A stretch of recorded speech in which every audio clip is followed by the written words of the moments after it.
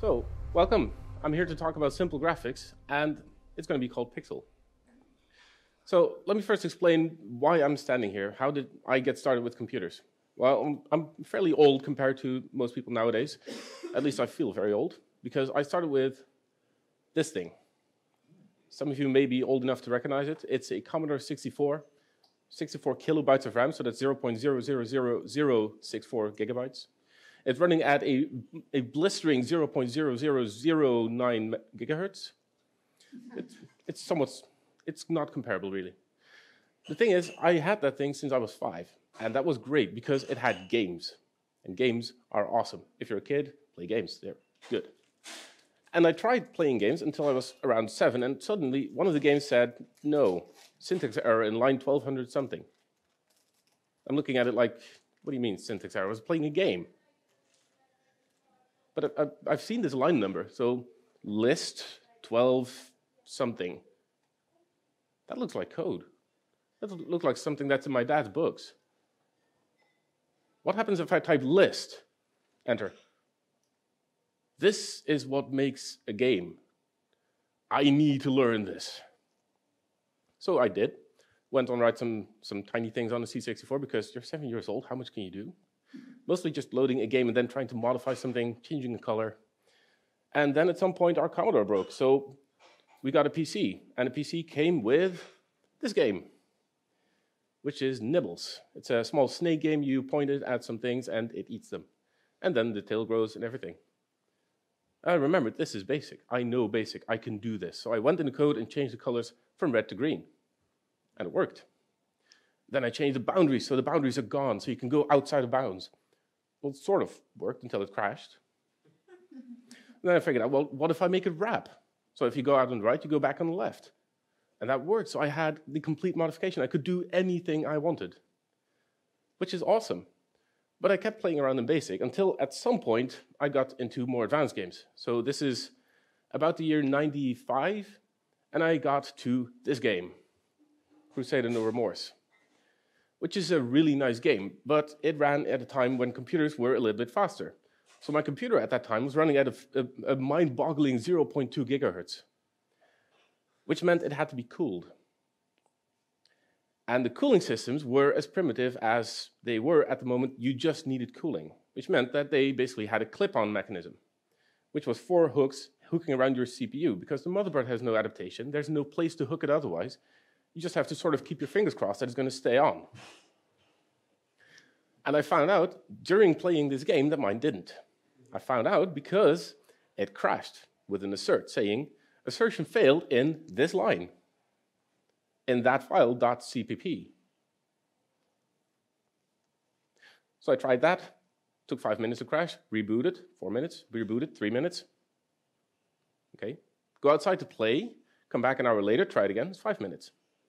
Open up the case, and it was just sitting there at the bottom spinning while the CPU was overheating. Okay, it's Saturday afternoon, I'm 12, all the shops are closed, all the shops will be closed today. How could I get through the weekend without playing a game? Come on, it's it's crazy. So I put it back on with a glue stick. and that works for the computers in 95. so that's the cooler it was, and one of these pins broken off. So that got me started in games. So that got me thinking, what needs to change to make C++ a good first programming language? I mean, I had it as basically a second language, how can we make this a good first language for people? And I asked a question on Twitter, and the replies were, as you can expect. Nothing. It's ridiculous. If you want a good internal language, learn C. If you want simple C++, learn Java. okay, so C, Java, Rust has a lot of similarities. Of course, somebody has to say Rust. um, but one thing in this stands out, very good compiler error messages versus template barf. That's a really good point. Although error messages have improved a whole lot in the past 10 years, there's still something to be gained there. Okay, somebody taught Turing, which is a good language for teaching, but everybody seemed like they hated it. Um, and then John Regehr replied. He's a compiler, uh, a compiler professor at the University of Utah. And he says the first language need to be not huge and not unsafe. Okay, I get that. If it's huge, he can't learn it. If it's unsafe, it will crash all the time. But then I started thinking, if it needs to be not huge, just stop using all the old bits and all the stuff you don't need to know and just make a good teaching guide that says this is how you learn C++. And then he replied to that, well, saying, well, safe doesn't make it a good language, but unsafe makes it a bad one. But is, C, is modern C++ really unsafe? If you don't have a new, you can't forget a delete. If you don't have any arrays, you can't go out of bounds. I'm not sure it's that unsafe. So in summary, they basically said use Turing, Rust, C, Java, anything but C++. Until EWG chair replied and said, we need to stop fantasizing about unicorns. Okay, so when the, the person leading the committee basically says, nope, it's like, this is not going to happen until hell freezes over. Now, Jason might know this. because do you know where hell is? Uh, it's in hello. It's in Michigan. So this is hell. and in case you think this is just from one random day, this is the weather report. That is hell, and it's currently about minus 35 Celsius. Yeah, definitely. So hell is frozen over. Okay, that's one thing out of the way. Let's continue. These are things that run C++ code. Uh, you may have heard of these before. They were presented at CppCon. These are basically jewelry meant for small kids to learn to program C++. So much so that a nine-year-old is on stage teaching people to code C++. But, you know, maybe it's just girls. Maybe girls are just inherently really good at programming. We just haven't noticed. Could be. But then we have these things. And boys like these for, because they're not jewelry. For some reason, that's not a good compatibility thing. And these are also programmed by small kids in C++. So maybe it's not the language? Patrice Roy, a professor from Canada, if I recall, uh, says language isn't the problem. I've used C++ for novices in the past 20 years, and it's fine. They have similar difficulties, and language is not the issue. Well, we need to get rid of the, the heritage of C. So get rid of the old stuff. And stop teaching C and start teaching SCL. So I could go on a whole while about this, but I'm not going to because somebody else did it way better than I ever could, which is Kate Gregory. So she did a talk, Stop Teaching C, at CppCon 2015. Let us stop trying to use C and use the C++ parts of C++ to make good code. Okay. Now what else do we need? Tools. We need to have a lot of things that understand C++, that can tell us about it, that can transform it, that can code format it, that can highlight it. And we need libraries, which come in packages. So that we can say, I would like to use this library, and poof, magic happens, it works. Instead of, let's download this zip file, copy it to some directory, try to use it, oh no, it's compiled with the wrong compiler options for my compiler, let's use a new, yeah. So, we need tools for novices and experts, because everybody faces this problem. So we need a good build tool, something that works, and something that's easy to use. And those seem to be anathema to each other. We need package management, because when you want to build something, you don't want to start from zero every time. You want to use whatever everybody else has made already. And we need some good IDE that will tie everything together and give you the ability to start writing code, press a button, magic happens, it comes out. What else do we need? Well, this one is, is one that many people mentioned. A beginner, if he's not academic, needs to be impressed with quick and visual results. And even on the business side, we don't even have a capable date time class. So I'm going to focus on the first part, quick and visible results. Second reply, the number one thing I'd request is some sort of environment so you can do things straight away. Open a window, draw stuff. I'm seeing a pattern offer a way to show something visually to the user. Text, shapes, don't have a console output. And even on Discord, I remember my Casio programmable sitting in math class programming rotating cubes, which is fun because you get to see things. They're moving, they're animating, as opposed to there's an answer. So we need something that shows beginners quick results. Which brings me to why I'm giving a talk. I basically took that as a list of things to have, and I figured out well, which things do we need to make. We need to have some build system that works and that doesn't have a ton of configuration. So unless you're doing something weird, you have no configuration. If you are doing something weird within reason, you can configure it. If you're doing something totally crazy, it's just going to say no. If you want to keep using it, make your code better. We need simple graphics. We need to have something that you can start up, you can set up, you can have running without a whole lot of trouble. As in, if I gave this to a 10-year-old, they should be able to have it running in 10 minutes and have something on screen that's showing things they like to show. And I need some kind of functional and usable package manager so I can give this entire thing to somebody on a computer and tell them just type this command to build things. All the packages you need will automatically appear and it will run automatically. So you don't have any of the big problems. So you get from zero to a working game in a minute. So the first thing was evoke. Um, build systems are hard, and there's a whole lot of time that you're spending in building your software. When actually what you're telling it is, I wrote these three files. There's these three files. They have these names, which you could get from a directory listing. And you need to build these as if they're source code. Well, I know they're source code. They have the CPP. And then there's this second folder, which has this name, which you should compile to an executable with that name. And then link to the other headers, because I'm including them.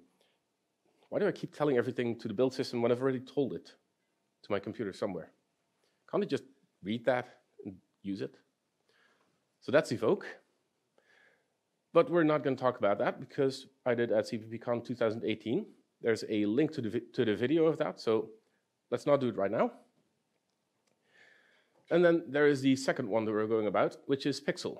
And Pixel is something that's sort of up my alley. I have some prior experience with OpenGL. I know about graphics. There's a 2D graphics proposal from BSI, made by Guy. And there is a whole lot of stuff in there, which on one hand you need, and on the other hand is prohibitive.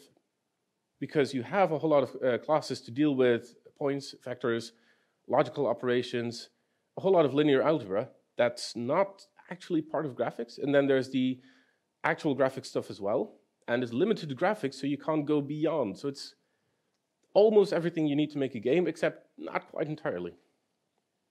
So I'm going slightly differently with that. Well, how hard could it be to make this? So this guy pointed to me and said, well, if you say it can't be that hard, go make one. Start tonight, you have two hours. Well, up to a point, that works. and then I've continued for another long time to keep developing it. So then why Accio? The third one. Why not just use one that exists? There are package managers. There's Conan. There's VC Package. Well, there needs to be one that's good and universal. Maybe Conan, maybe VC Package, but that disqualifies a bunch already. But I need file lookup, uh, package lookup by name. The build system sees include statements, and it sees I have nothing to fill this include statement. So, dear package manager, magically make this work. And then most package managers say, well, what's the name of the package? I don't know. The header's called catch. So I'm guessing it's some kind of catch. But there's nobody translating between the two. So I need this to have it work. So I'm hoping that somebody is doing that. And I'm really hoping somebody will add the file mapping. If not, then maybe I'll be on stage in early 2020 giving a talk about a package manager. I am hoping I don't do that. So we have a set of three. We can do simple things. We can get simple programs working. It does only work if you're doing same things um, but it's only uh, allowing you to do more complicated things if it doesn't complicate the simple things. So why not just use CMake, Make, and Meson? Have you tried using CMake? Who here has tried using CMake? Okay, who here likes working with CMake? That's three. That's three and a half hands, I guess. That's impressive. That's Stockholm syndrome. Yeah. the guy remarks this might be Stockholm syndrome. Who here has used make, as in not with CMake, just writing your own handwritten make files? Who here likes writing handwritten make files? That's also three. So in terms of general improvement over make, CMake is not necessarily much better. Who here has tried Meson? That's one.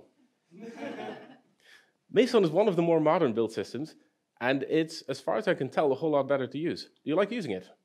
It's better than CMake. It is better than CMake. Is it better than make? Sorry? Is it better than make? Anything's better. That's a strong statement.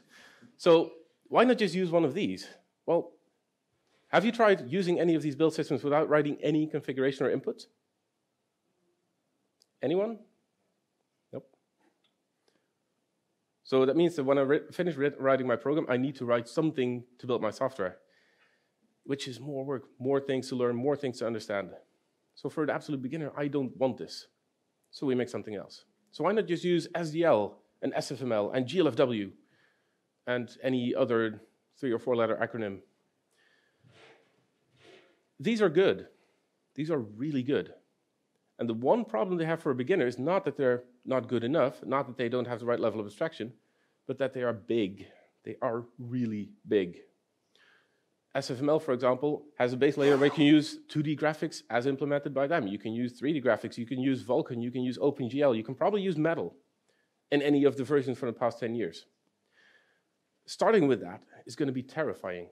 If you're trying to find out the simple subset of absolute minimal things you were trying to use, this is not a great start. And there's one more thing. These libraries have both a big surface, but they also are relatively opaque to the user to find out how they work because they do do all the work that they claim to do. What you sort of want is something that is a simple library that has like five classes maximum, which just says this is the stuff that we can use. For anything more, go figure out how to use one of these underlying libraries. If you want to use different colors or different textures, 3D graphics, shaders, graphical things, don't use this library, just go through the library, learn what's in it, absorb it into your program, and then continue. So Pixel is based on SDL.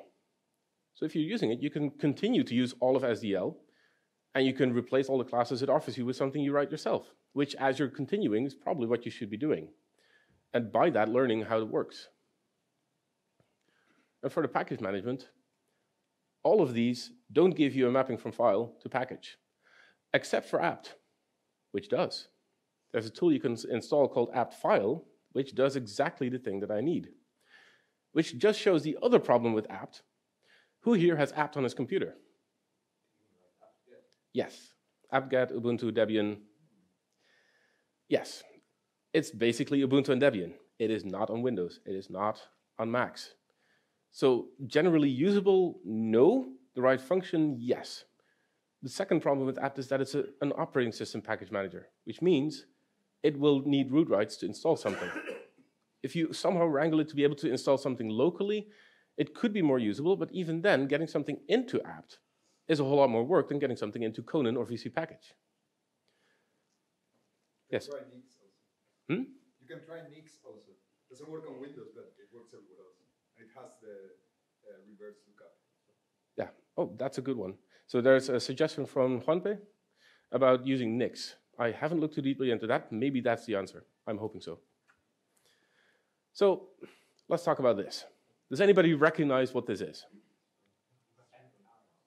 These are spherical cows in a vacuum. Does anybody know the joke?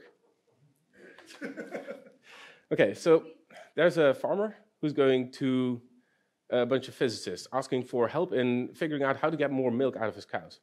So they go back to the, to the university, apply some models, de decide on some things, and they come, come back to him like, we can provide 300% more milk from your cows but we've only proven it for spherical cows in a vacuum. but there's a fundamental thing to learn from that. We simplify things so they are easier to grasp and we can actually accomplish things, then to translate back into the real world, to go to the complicated things and actually make them work. So if physicists can abstract spherical cows, maybe we should make things more simple. So what is simple? Deadly silence. I've tried looking it up in the dictionary, and it's huge. It's one of the most complicated words in the dictionary, ironically. So it's lacking in knowledge or expertise, so a simple amateur of the arts. It is free of secondary complications. It's simple. There's a simple vitamin D deficiency. It is only one main clause and no subordinate clauses. It has no modifiers, it has no complements, it has no objects. It's a basic element, it's a fundamental thing. It's not made up of many, uh, many individual parts. It is free from elaboration and figuration. It is not subdivided into branches or leaves. it is easily understood and performed. Now, this one's probably the most applicable one. And as you can see by the numbering, I've left off all the other definitions of simple, just to make it, well, simple. So maybe this is just the wrong word to look up. Maybe what we're looking for is not something that's simple, but something that's intuitive. So let's go to intuitive. It's known or perceived by intuition. Directly apprehended. Okay, so intuitive depends on intuition. Maybe it's a different definition. It's knowable by intuition. it's based on or agreeing with intuition. This is getting us nowhere. The last one at least doesn't have intuition, but it's readily learned or understood. Same as simple, the last definition. Maybe that's going somewhere. Okay, so let's look up what intuition is. This is an excerpt, of course. It's the ability to know valid solutions to problems and decision making. It is using your base of experience as an expert to identify similar situations. So you have a base of experience. And intuition is pattern matching, matching quick, uh, feasible courses of action quickly. Well, this is one really big problem with this sense of intuition and simple that is that this applies to experts using a base of experience and pattern matching against things you've seen before, which is great if you are not a beginner. So, how do you make things simple for beginners? Not by looking at the dictionary. Okay, so let's just try to figure out how to do C from nothing. As a simple C course, we start with first explaining that programs go from top to bottom. The computer doesn't wait for you, it just does everything top to bottom. And then we introduce things integers, objects, variables. They have lifetime. They start here, they end at the closing bracket. Then we add a function call. I can print some text. And then the program ends and everything is gone. Or I can call some other function. I can make a loop, so it repeats doing something until something else is true. I can make an if statement, so I can have optional branches. I can go one way or another. And then we start creating functions. And at the time we were here, we basically have a, a basic start of a language. We can start programming. So let's see how this, how this goes. We start with a basic procedural flow. We have an empty program. It does nothing successfully because we have an implicit return of zero. So we don't have loops, function calls, or lifetimes, so we can't make an int, we can't return zero because we don't know any of that. And this seems completely useless, but there's actually a well-known program that all of you have probably used, which does nothing successfully, which is true on the command line. So if you run bin true, that does nothing successfully. So yay, first program done. Then we make things. They have lifetime. We create a window, and the window appears and disappears, because, of course, the computer is not going to wait. So it starts the moment that the line is completed, it ends when the end of uh, scope is reached. So that's not all that useful. Let's add a function call. We add a sleep. Now we create a window, it sits there, and it goes away. So let's have a small demo.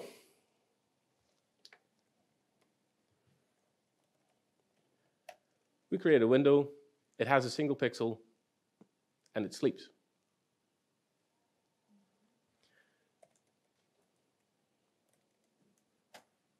And this is all the code that we have. So you start at the bottom, you make a window, you make a canvas for drawing, you put a pixel there, and you show it. And then we sleep for four seconds. It's about as simple as you could make it. So let's go a little bit further, because this is still simple. What if we add more things? We've added the sleep, and now the, the window is sitting around, but the operating system says it's non-responsive. So why is that? Well, we are not listening to calls from the operating system because we are sleeping. We've told it to do absolutely nothing. So maybe we should not be sleeping.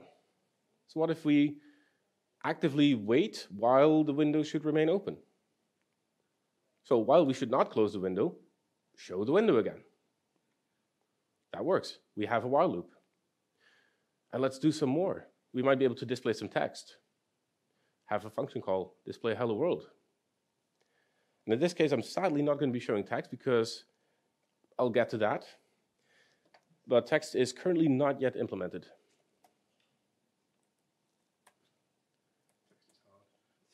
but we can take an image and then swap some things around.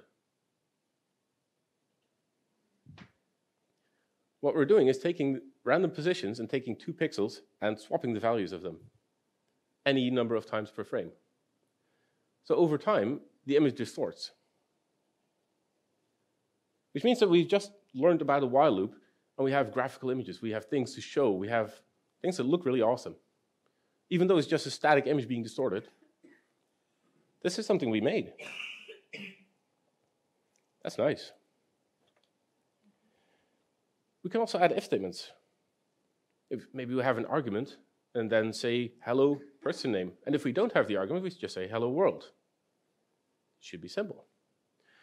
We only have the C compatible main function, which means that if we want somebody to say hello person, we're going to have to explain we have two arguments, an int and a char with some stars in there that I don't want to explain to you because it's C and it's horrible and you don't want that. But we're still going to sort of need this. Otherwise, we can't have any command line input. It's not ideal. So let's try not doing that. Something else instead. But we can also create functions. If we're creating functions, we can initially start expanding main with all the other things we want to do. We have like a 100 line main, and only the person that wrote it understands it. And at some point, you figure out that actually this is a separate thing. This is something I can name. Take it out, make it into a function, give it arguments, give it a return value. We can make new things. We can make the program more complicated. We can go into basically a demo from the demo scene. We can go and draw things and then have a different function draw for five seconds, a different function for 10 seconds, and show visual animations, impress everybody. And we can also make more complicated demos. So this one is a very well-known one. Anybody not know what this is? This is the game of life from Conway. And it's based around a simple algorithm that's basically a convolution on what's already in there. So the program takes this as two buffers and runs a convolution from one to the other, displays it, runs it back, and displays it. And the code represents that. Because in this case, the code is, again, fairly simple. We have an initial state that we want. We make a function called init, which sets 11 pixels with a reference why it's these 11 pixels. We have a function that does the Conway's game of life evolution step, as in go one frame beyond. And we have a main function, which runs Conway from B to A and then from A to B. This is still fairly understandable. So as a newbie to the language, you've gotten to the point that we can make reasonable programs. We can make fairly impressive things. So what did we not use? We've not used pointers. We've not used C. We haven't created classes for things. We haven't used inheritance. We don't need virtual. We don't need headers. We don't need any in inheritance model understanding. We don't need polymorphism. We didn't use a build system. We have no configurability. We have no libraries needed. We have no warnings options turned on, even though warnings are on. We have no licensing issues. We have a really simple system. Tony. That is uh, through a public domain library part of Pixel. Inside Pixel. So yes, that is with the library, but it is also uh, part of the software uh, as distributed. So how do you do this without headers? This is Okay, so I need to uh, narrow down. When I say without headers, I mean this is without using your own headers or your own software split up. You just have a simple implementation file and no header inclusion model yet. So when designing for simplicity, we want to be powerful enough. So we want to be able to show Conway's Game of Life. We want to be able to show somewhat more impressive things. But at the same time, we want to reduce the amount of knowledge you need to get there. We don't want you to learn about multiple graphics devices on your system, about many audio cases, how to interface with the Windows API. We don't want to have all the edge cases of maybe you have two screens. We, we don't even consider that. We omit all the language features. So while we could be using uh, very complicated things, we could be using variants, we could be using std any, could be using all sorts of complicated things, we choose not to. Because if I'm using variant, I must teach somebody what a template is. If I'm using vector, I have to teach them what a template is. And at this point, you don't need this yet. So for making simple things, as in for absolute beginners, maybe having something simple is better than being well designed. Just to show you one small line that uh, exemplifies that is this line. On one hand, this could have been a class that says I have a 2D spa uh, dimensional space. But if I did that, it would have been more complicated. I have an x and a y. I now have a class that I need to explain. I have structure lifetimes. I have maybe this won't be constructible from these arguments. Where do I get this point? How does it li its lifetime uh, work? Is it maybe a copy? Is it a reference to the original? And suddenly this one line becomes more complicated, but better designed. And in this case, we went for simple, and according to all design principles, less well designed. So we're going for simple. But in going for simple, we have to look at Arduinos and uh, Juulbots. And they are basically event-driven. And event-driven is a way so that somebody else runs a main loop and you get callbacks whenever you need to do some updating. And this is simple in a way that hides a lot of magic. As in somebody else is doing the magic. It's not a complicated kind of magic, but it's something that somebody's not telling you. And when you're learning C++, you want to know how does this work? So the alternative is I go for fully procedural programs. I start at A, I go to Z. There's nothing in between, no magics, nothing hidden. So in this case, I made the choice to go for procedural fully. So we're doing procedural, no events, no callbacks, no surprises, nobody going back where you didn't expect it. No audio where you might have multi-threading issues because you have problems then that are way beyond your level of understanding. So we're not going to do that unless we can make it simple enough. And if we can make it simple enough, we can do audio. Let's do graphics first. We need ample examples. The best thing for a beginner is to start up some kind of editor and load an example. It shows something, it does whatever it does. And then you take the example, you modify it. You change it. So you start with something that works, and then you modify it.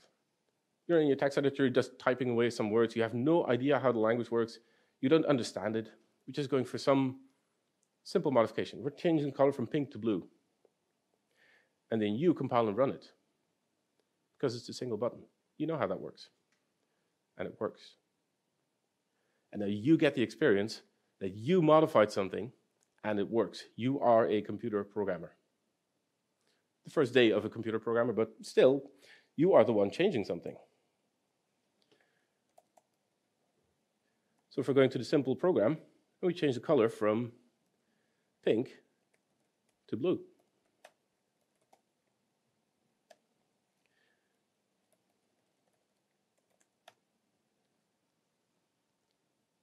We did that.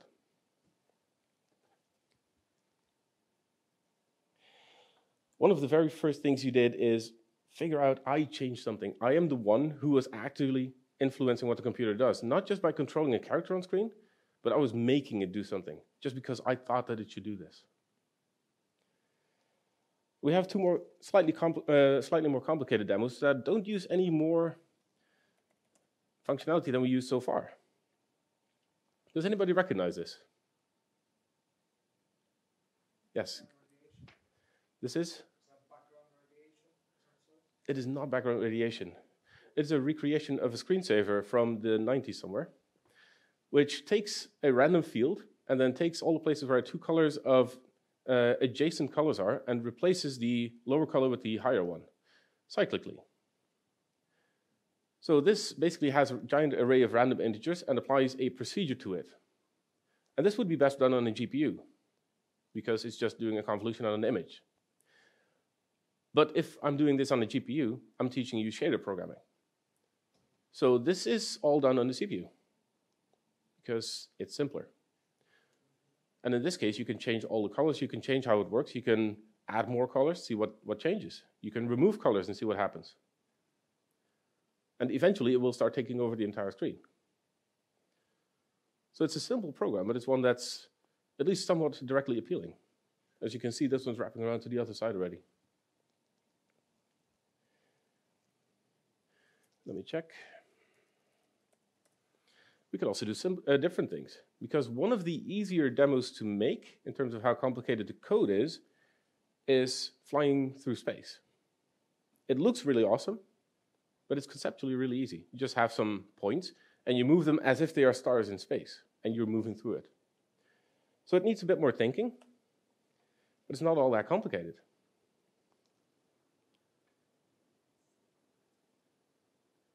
I'm used to running faster.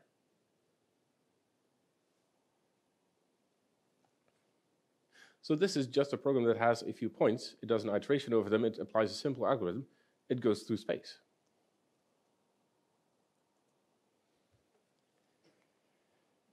So one of the things that we are choosing to do is making the library small and open. I can read the code, I can understand it all. In case something breaks, I can look into it and see what happened.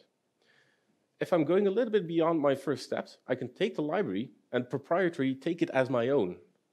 I can take it and not worry about licensing. It should be public domain as far as possible. So you can take it and learn from it. You can modify it, you can improve it.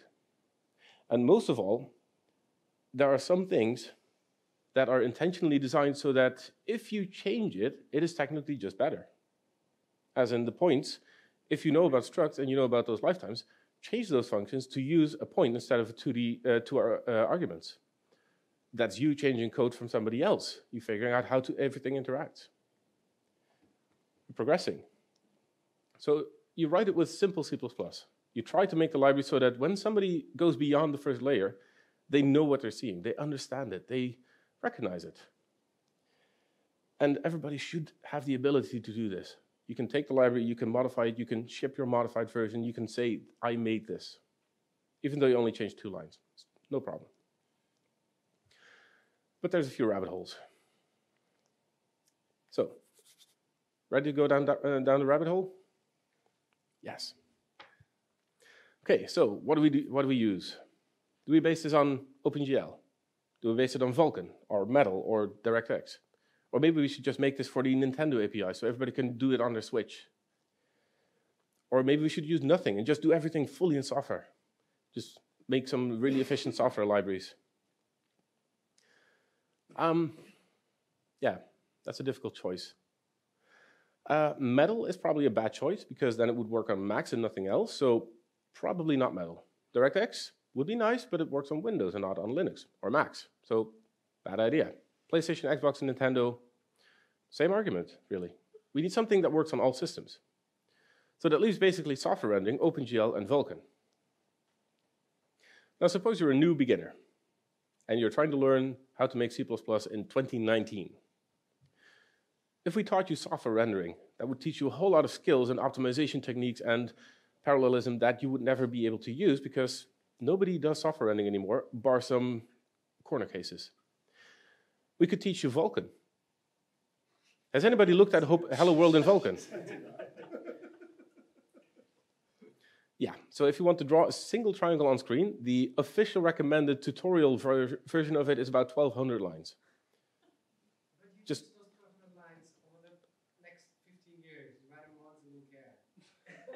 Yes, but if somebody takes a library and wants to read it, they have 1,200 lines of code to get through, and swap chains and buffering and it's horribly complicated for them, which means that given that we want the library to be read by people, we are not going to be using Vulkan. So there's just one option. So we go for OpenGL. But which OpenGL? Do we go for IrisGL, the original one, the one that works on SGI workstations? Okay, maybe that, that's a bad idea. I don't think anybody has one. Maybe we go for OpenGL 1.2, uh, 1.x or 2.0. And while this looks like another easy one to knock down, it actually isn't. Has anybody here used a, uh, a netbook? Yes, there's a few hands. Most of those still cannot do anything more than OpenGL 2.0. They're using Intel chips from a few years ago when Intel didn't do OpenGL 3 or 2.x. And those have been originally created 10 years ago, which means that they will do just immediate mode, not even using buffers. Okay, so let's assume that we're not using netbooks from 10 years ago, because those have gotten out of fashion thankfully for that reason. Let's go for OpenGL 2, which is using buffers. But then, if you actually want to use this in production anywhere, there's no actual company using OpenGL 2 anymore. So we'd be teaching somebody some, some new things that are just beyond what they're going to be using. It's useless information. It's teaching the new legacy. Okay, so let's cross out 2.0. Maybe 3 point something. Now we can use shaders. Well, yes, we could, but if we do this, it's slightly more complicated than 2.x. And there's a whole lot of uh, new improvements in OpenGL 4.5 Plus that are using approaching zero driver overhead things, which means that they are much more efficient, and many companies will start moving there. But if we use OpenGL 4.5, it's never going to run on a Mac. They stopped at 4.1 and deprecated it. So 3.x is probably best. Okay, so how much OpenGL do we use? Do we use buffers, shaders? Probably yes, but maybe under the hood so that nobody sees it. Do we need transform feedback? Do we even care about transform feedbacks? Do we need pipeline setups, texture setups, multi-GPU setups? It's probably useless for this, but maybe somebody wants that. Do we want samplers? Do we want to explain to somebody what the difference is between a sampler and a texture? No, that's not. But then on the other side of OpenGL, there's having a vertex definition. Maybe we want to render it to multi-targets. So we have two screens, so we can have 3D glasses. That would be cool, but it's a whole lot more complication and we're not doing 3D. Or maybe we are. But then we have matrices that we need to explain. We have vertices. We have 3D transforms. We have, actually, you did draw everything correctly, but it's behind you. And all the problems coming with that. Maybe we want to teach procedural generation so you can have a world automatically generated in front of you. Okay, so let's back up out of this uh, a bit. What do we want from graphics? What are we actually going to expose to the user? We want to have some surface drawn, we want to change some pixels, and take it to the screen. Okay, is that good enough? Or do we need something more? Okay, maybe we want to draw some text, because having Hello World is very practical to have. So we will be drawing some text, but not right now. Um, but if you're drawing text, you still can't really make a game. You'd be essentially telling the user, go do software rendering yourself, because I'm not even doing it for you. So maybe we can offer just a little bit more power from OpenGL. Maybe we can load sprites. And then if you've loaded the sprites, you can move them around on the screen. You have a small guy walking around and jumping and whatnot. And then save a drawing. Because I made a drawing in a program and I save it to disk. I can save a screenshot. I can just take the same thing and save it. And this is probably enough. Do we need animation? Yes, I want to animate things, but I don't want to encumber you with animation. So if you want animation, you maybe want to do that yourself. So you just have multiple images and alternate. Do we want to scale things? Well, that's probably practical. Because if you want to do it yourself, that's going to be a whole lot of work. And for me, it's basically just giving them a float. Probably yes. Rotation, yeah, it would be nice if you can roll a wall. So yes, let's do that one as well. So if we're going to draw some text, and somebody may have seen this coming, how do we draw text? So let's go down the rabbit hole. Let's assume that we just want to say hello person name in whatever language you use for like 95% of everybody. We can leave off some people, but let's not drop too many. So, hello world, this is an ASCII. Or is it? Maybe I'm using one of the other encodings. But what if it's not, uh, if it's not English, but Polish? not trying to pronounce it. This might be ISO 8859-2 or even a different code page. What about this? First one says ni hao, so this is Chinese, but do we want any of those encodings? Or even worse? Okay, so this is a solved problem. This is not our problem anymore. We have Unicode. We can put every language that exists, including cuneiform, into Unicode. Cuneiform is terrifying in Unicode, but everything else is sort of sane. But let's find out how sane. Because there's multiple encodings. At least we know that every operating system supports UTF-8. So every widely used operating system can do UTF-8. Yes, even Windows. But you have to enable it first. So it's a bit more work, but at least it's a choice that works for everybody. So how far do we go? We have hello world. Start on the left, take every letter, take the glyph, put it on screen. Yes, we can do that. Polish. Well, we can start on the left, but there's this S. Or is it an S with an accent? Or is it a separate accent with an S? Shh. Thank you. Um, but is that one letter or is it two things? Well, it, it's both. Because there's a normalization which is composed or decomposed. And if it's composed, then it's one letter. If it's decomposed, it's two. So I don't know what the user is going to give me. So we could be doing Unicode normalization, but okay, kind of worms. Let's maybe not. We could also just draw the S, and then if somebody wants to give us an accent, we draw the accent and then not move the cursor. And then we draw an accent first and then an S beneath it, and it, that looks fine. It's good enough. So just draw the accent. And just put the, the composed character in as well. So we have the character twice, maybe, sort of, but that's okay. Um, so, ni hao. This is really hard. But I'm thinking about writing this. In this case, we're not writing, we're drawing. We just have a glyph. And we put the glyph on the screen, we put the next glyph, we have a comma, and so on. This is easy. So, what about this? Does anybody know how to read this? Yes, this text is backwards. Um, okay. So for the simple character drawing, how, how do we make that fit? So we need to start on the right and then draw left of that and then decrement our cursor position and not. So what if we just do it backwards? So if it's one of those characters, we draw left. Oh, negative x offset. This is going to work. Shalom Phil. Well, crap. Now we're going to draw it on top of each other. Okay, so we have to bite the bullet here. Either we're going to lose out on all of Arabic and all of Israel and all the right to left languages, unless we sort of handle this. So, yeah, we're not doing this. So we are going to be using a Unicode sublibrary derived from the std-text proposal to handle this correctly. So then you do get bidirectional correctly.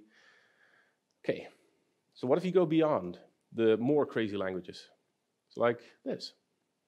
Does anybody here read Arabic? Okay, maybe I can make this simpler because this looks like a really complicated drawing and I think there's more letters in there. Maybe I would just add a space between all the letters so we can read them separately and then just draw that all together and hope that it's, it's fine. Um, no, this is not going to work. This doesn't even look like the same letters. That E-like letter in the middle, I don't, that's not going to work. So to do Arabic, we basically have to do all the ligatures. We have to combine everything and use different symbols depending on what they're next to, have a complete mapping in memory, do all the Unicode stuff. Nope, I can't do that. That's too much support. That's basically dragging in all of libicu and everything attached to it. So it's not going to be Arabic. So what about this one? Hello, Zalgo. This is an internet thing where people add way too many accents and combining characters onto a single letter, and then just sort of give it to the Unicode engine and say, good luck with that. Um, it looks funny, but it's a lot of work to get to work right, especially if you look at the two L's, they are spaced further apart, so there's space for bigger accents. So this is really complicated. That's not going to work. So, oh wait, we can do that as well in Unicode. But this one we can do. So what about the actual shruggy emote? Do we want to add emoji? Well, simple emoji. I guess so. That's no big deal. I just have to put them in a character set. But the things you can do in Unicode with emoji is combine them into bigger emoji. So you can have a family with skin colors indicated and professions indicated and combine all of them into single character with like 150 byte encoding. Yeah, no, no, we're not going there. So these three, while they are nice to support, we're not going to because it's just, there's no point.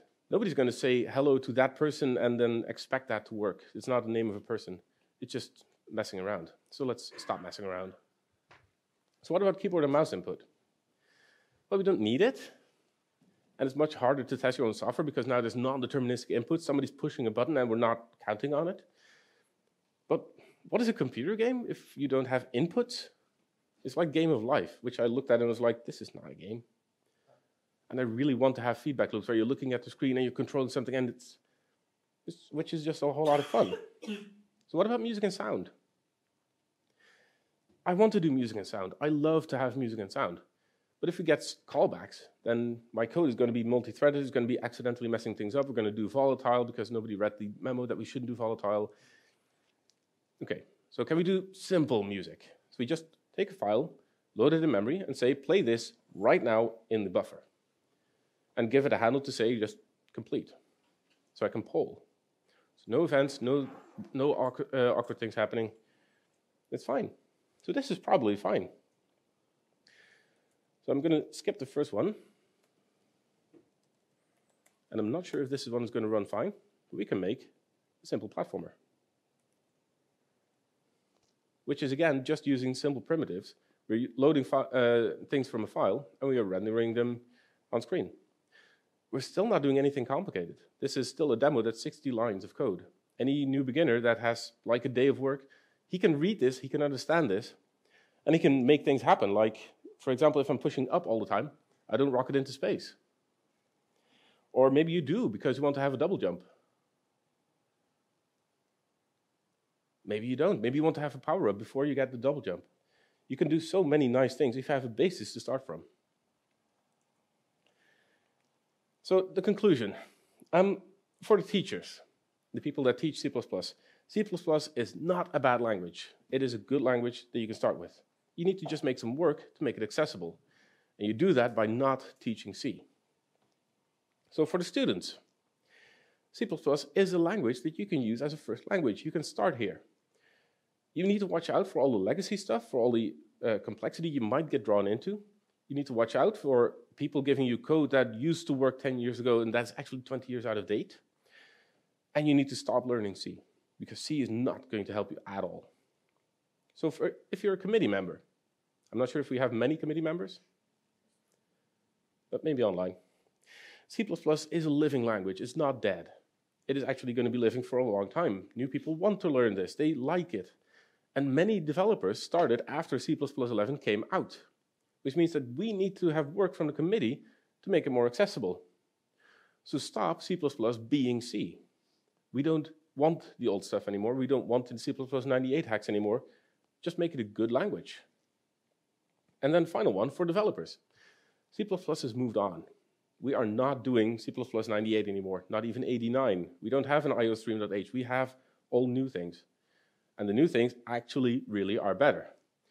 Make sure that you help new people in the language. They, you give them a hand up and always realize how well uh, they have adjusted to the language yet, how much they know. Because if you don't, you're going to give them a whole lot of mental load understanding what you're trying to explain in them trying to understand what they're doing. So that was me. And for CPP on Sea, I made one final demo, which is basically the start field, except with a different graphic. The code is almost identical. So, thank you very much.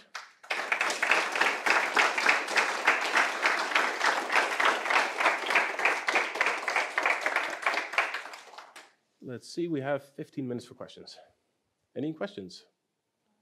Yeah. So, uh, how did uh, so did the beginners you teach a library accept it? How did children accept, or who did you teach a library?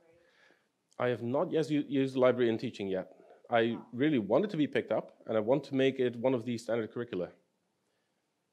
But I'm reaching out basically with this talk to make sure that people know that it exists, that more teachers learn about it, and that we can start using it, or at least together figure out some other way to make it happen.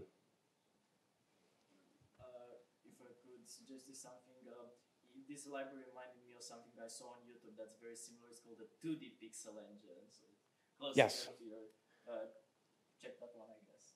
Okay, I will remember to tag that one. It's 2D pixel. 2D pixel. Yes, thank you. Yes. Hey, you go ahead. Uh, Juanpe. Uh, I didn't understand the argument for not supporting Arabic, etc. Well, the difficulty with Arabic is that if you're trying to support it, let's see, that's this one, uh, we need to have combining ligatures. And combining ligatures requires a whole lot more data. Uh, that's, I don't know. It feels like it's a way of This one. people from half of the world should not use computers because we need libraries to support them. yes, uh, Can, can we just use the library? maybe. The question is, this is a really complicated transformation and it requires cooperation not just from a Unicode library, but also from a font rendering side. Which means that this is significantly more work than all the languages before.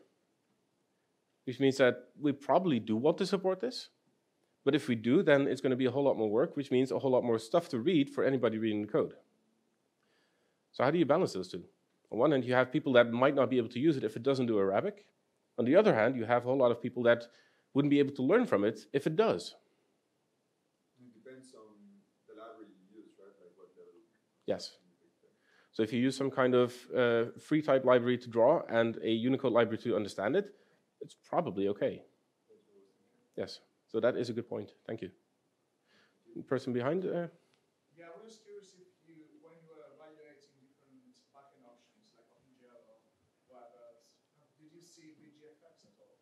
I have not heard of G- bgfx ever. It's like a small library. It's, it's not really a suggestion because I don't necessarily like it. But it kind of, yeah, it kind of encapsulates it, encapsulates it in backend so you can have DX11 and 9. You can kind of maybe have Vulkan in the future. You have OpenGL. You have OpenGL, yes. You have Androids.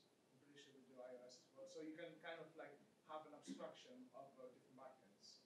That is a good point. So you could be using what was the name again? VFX. bgfx as a backend for this so that you can switch the backend behind it. But then you're learning bgfx as a library, which I admit that I haven't heard of before, while you could be teaching them OpenGL or Vulkan, which many people have heard of and will need to be able to use on their job applications. So on one hand, I want them to know that they're doing OpenGL so you can put it on your list of knowledge as in I've done OpenGL. Yes, Tristan? So I'm curious as to the sort of the motivation to why you want the users, the learners, to be able to go into the library code and understand the library code. Because I'm thinking of, something like standard vector, you'd never tell a, a beginner to go and look at the implementation of standard vector because it does horrible, complicated things with allocators and there's no way they're going to understand it. Yes. But you still want them to use vector.